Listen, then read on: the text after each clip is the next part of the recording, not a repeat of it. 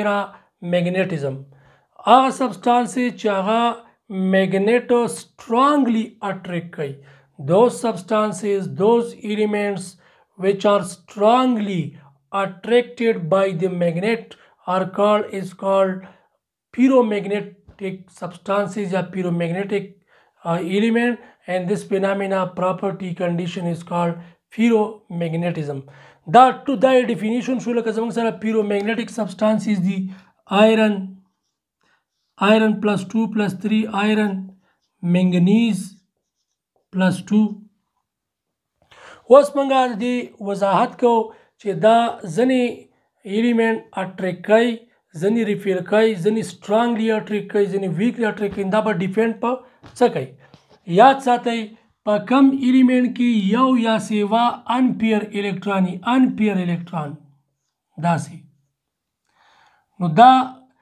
دا الکترون چې کله موشن کوي دا دوه قسم موشن کوي یو سپین موشن دی یو اربیټال موشن دی سپین موشن هغه ته چې ان دیر اون اکسس کې کوي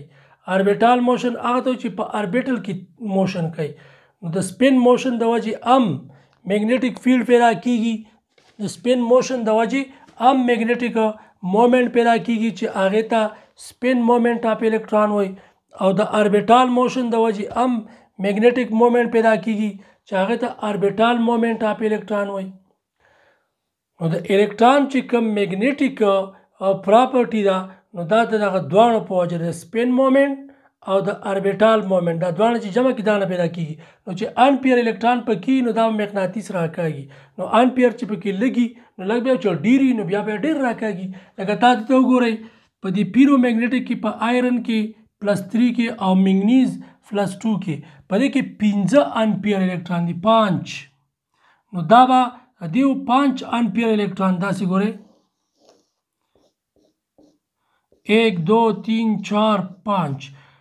نو دا چې کوم میګنیټیک مومنټ پیدا کوي دا شان دا کم پیدا کوي دام پیدا کوي دام پیدا کوي دا ټول یو بل سپورټ کوي نو دینه چې کوم میګنیټیک پیډ پیدا کیږي میګنیټیک مومنټ دا به ډېر سترونګ وي نو مقناطیس به ډېر سترونګلی اټریک کوي نو په دې وجه باندې دا پیرو میګنیټیک دي دا سترونګ دي دا شان که ډای میګنیټیک ته تاسو وګورئ نو په ډای میګنیټیک کې زموږ سره الکترون داسې پیري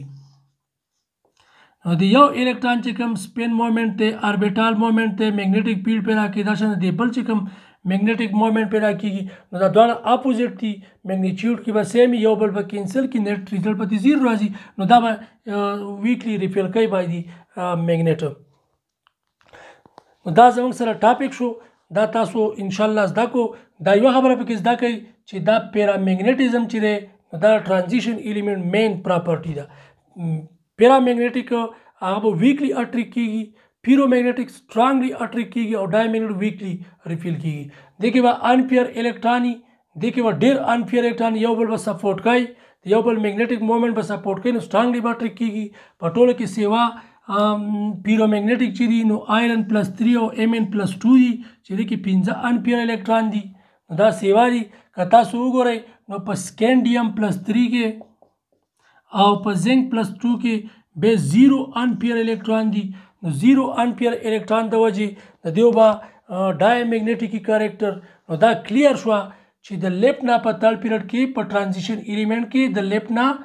رائټ ته ځي په پس ترانزیشن سیریز کې نو دا دا به پیرامیګنیټک به سیوا کیږي اپ ټو ای پی پلس 3 او ایم ان پلس 2 او بیا به ورستو کمیږي او زنګ ته چې راسي زنګ ته زد ان پلس 2 نو الته به 0 کیږي الته به 0 کیږي دا تاسو ته ضروری ده چې یادي په ام سی کیو کې بیا راځي اوس په کې یو کوېشن بل لاره چې عام طور یو شارټ کوېشن راځي چې ای پی پلس 2 منګه هو چې دا پیرو میګنیټیک دی پیرا میګنیټیک دی پیرو میګنیټیک څه شی راغو دا پیرا میګنیټیک ایکستریم کیس دی موږ ته پیرا میګنیټیک شو دا ای پی پلس 3 نو که دا وګورئ په ای پی کې ټوټل الکترون څو دي 26 نو دې نه چې دوه لرې کې 24 پاتې شو دلته چې درې لرې کې نو 23 پاتې شو د دې دواړو زه الکترونیک سټرکچر ډرا کوم چې الکترونیک سټرکچر ډرا کوم نو د د ای پی پلس 2 داسې سټرکچر راځي زموږ سره په ډي سب شیل کې دلته به دا پیر یو دوه درې څلور څلور ان پیر الکترون زمونږ سره له ایس او ویکرن دی د ایس نه به دوه الکترون تلي دي دا شانې په دې کې هم دغه ایس نه تلي دي او دا درې تلي نو دا به شي یو دوه درې څلور پنځه پنځه ان پیر نو څومره چې ان پیر سیوای نو عمر به